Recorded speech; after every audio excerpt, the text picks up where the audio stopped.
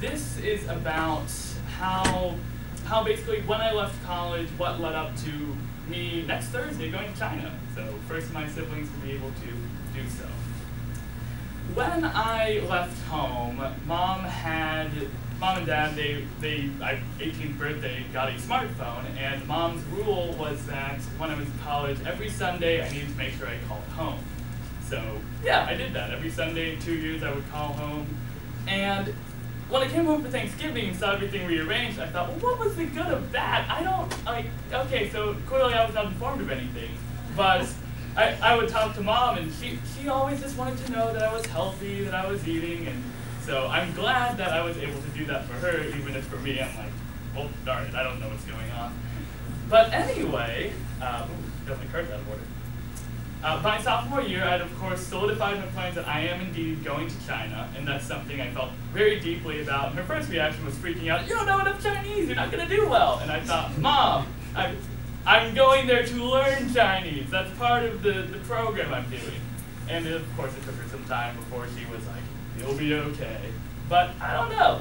It went a few, I'd say so spring this semester, so spring 2017 is when I guess he really picked up the, the pace of, okay, he's definitely going, I need to make sure he survives.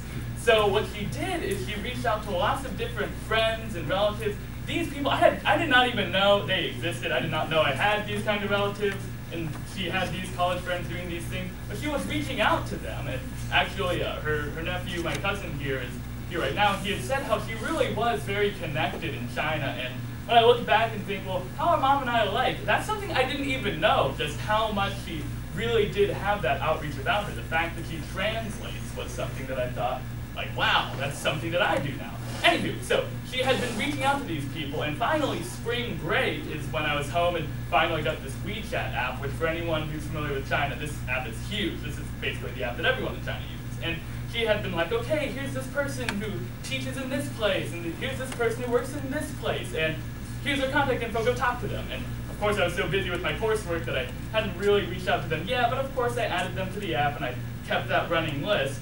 And even even spring break, she had taken me clothes shopping. And for me, that's weird because I don't I don't care. I'm like I, I got clothes, I'm fine. She actually read my favorite psalm, Psalm 23. Lord is my shepherd, there's nothing I shall want. So very deeply to me. I'm like, yeah, I don't, I don't need to worry about that. But she had done so because she said that, well, with the culture, she doesn't, I quote, I don't want you to look like a beggar.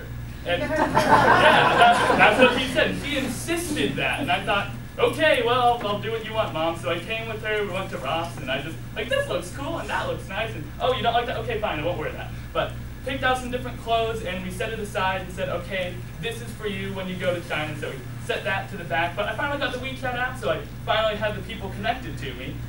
Uh, so after spring break, we had another month left. I was back in Reno doing my education things, getting ready, and she, now the calls are a lot more focused on the visa. So first it was always the passport, finally the passport arrived, and now it became, when's your visa coming? When are you coming back home? When is all this happening? It would be every week, and I'd, I'd reassure mom, it's coming, I got the mail in, or I've talked to this person, it's coming, it's coming. And oh my goodness, it would have been, it was, it was this, it was this Sunday, our, our last call was, because of course Sunday calls, our last call was actually a little more about so at this point I said, yeah, I kind of think I found a ride, and I already know the visa's coming because I have the tracking. And of course he's like, I don't believe it when I, until I see it. I'm like, but mom, I have the tracking. I know it's coming. Anywho, she talked about gifts because that's a very important thing in Chinese culture, gift giving. And she had was just thinking, okay, I've been talking to my brother, and this is another thing, apparently, she really does talk to all these relatives, and I'm like, okay, if you say so. So she was talking to her relatives, and he was saying, oh, candy might be good, and she was like, but I think the chocolate might melt, because of course Shanghai, where I'll be studying, is very hot, and of course, going there and then being there a few months before I can even get to these relatives, don't want to do that. But I was thinking maybe hard candy, so we were, we were talking about that, oh, what gifts should we get?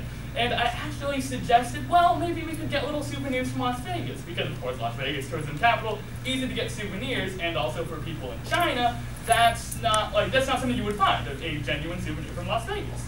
And she had also, we talked about this as a family, mom had really loved Las Vegas, and she considered that a home to her. So I was thinking, well, this would be nice. This is a, a trinket from the place where she calls home as a Chinese American. So it fit really well. And she, and she actually said, like, yeah, that sounds like a good idea. I'll do that.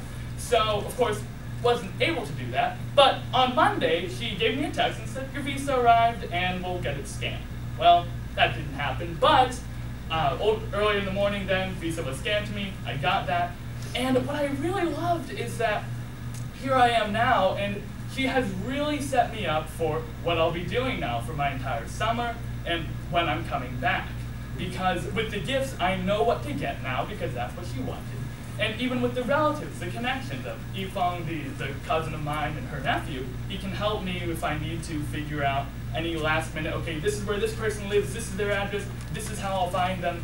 And she really did all of this as out of the selflessness of her heart. She cared about me, she wanted me to be okay, and I know doting mother, oh, you'll, you'll be okay, you'll be okay, but I'm not sure, so let me help you a little more. And I really love that about her. And I, I, I don't think about it that often because, of course, I'm calling home and don't know what's going on at home, but clearly she has set me up to be so okay. And I, that's something that I think overall in our family, and many of you have met me or you've met my siblings, and you might not have met her, but I've been told it so many times that it's a reflection through us of what she's done. So, especially to you all who haven't been able to meet her, I hope that gives you an idea of the person she was and overall, thank you for listening.